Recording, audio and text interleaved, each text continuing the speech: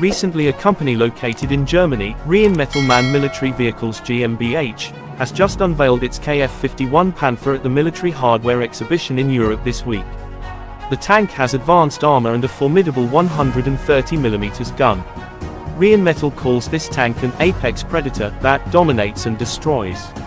According to a corporate news release, the Panther was designed from the ground up to deliver the highest lethality on the battlefield, combined with an integrated survivability concept and connected by a fully digitized NGVA NATO standardization data backbone to enable next-generation operational capabilities and automation. Rheinmetall declares the Panther is the future of tanknology.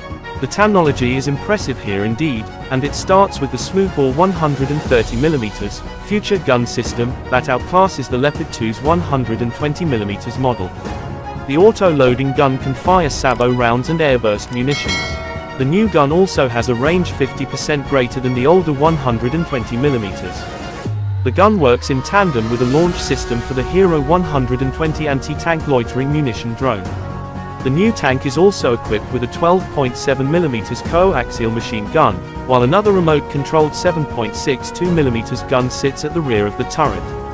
There are day-night sights and a laser rangefinder. The Panther has active, reactive, and passive armor. Together, they make up the Strike Shield Active Protection System. There is the new Top Attack Protection System for the turret that shields against anti-tank missiles swooping in from above to target what is usually a tank's most vulnerable area. The Panther weighs around 59 tons, which makes it lighter and perhaps more maneuverable than the Leopard 2 and other NATO main battle tanks.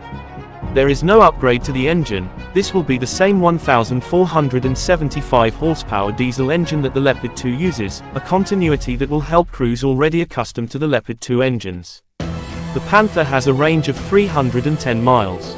The tank has a three-man crew. The digitized system allows for seamless communication on battle assignments, as well as sensing enemy tanks and incoming rounds. Each member of the crew can be cross-trained to work different aspects of operability. There could even be an unmanned model someday. Rheinmetall claims they designed the tank on their own, and it is not clear how much input the German military had on its design.